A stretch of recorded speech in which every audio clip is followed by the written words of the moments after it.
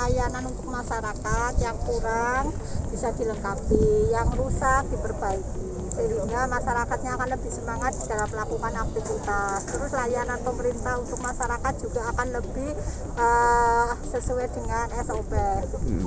Terus uh, nantinya kalau sudah jadi ini fungsinya untuk apa Bu nantinya Bu? Fungsinya ya untuk masyarakat Kabupaten Brebes khususnya wilayah selatan di mana namanya pendopo joglo untuk kegiatan-kegiatan apa saja terus ruang gedung serbaguna yang dua lantai juga untuk pertemuan para kepala desa. Di dalam mereka rapat-rapat kegiatan pemerintah daerah bila kunjungan di wilayah selatan bertemu dengan masyarakat. Ada kegiatan yang harus uh, spesifik tertutup mereka bisa rapat di ruang serbaguna ada lapangan tenis ada rumah di bupati ada gerai layanan pabrik ada musola, ada perpustakaan, saya sampaikan kepada dinas terkait PU untuk bisa ya ada pendampingan dari Kajari, dari kepolisian, dari Apip, dari inspektorat dan juga dari PT Pamitran itu sendiri harus komitmen untuk bisa menyelesaikan sampai dengan per 15 Desember sehingga manfaatnya segera bisa diterima oleh masyarakat. Oke.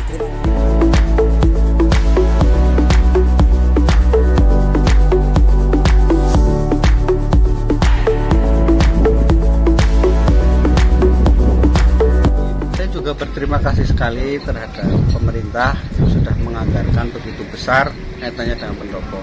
Akan tetapi pendopo ini harus terbuka lebar untuk kegiatan masyarakat yang sifatnya sosial tanpa harus memperhatikan Karena apa pun alasannya pendopo itu harus ada nilai sosialnya bagi kegiatan.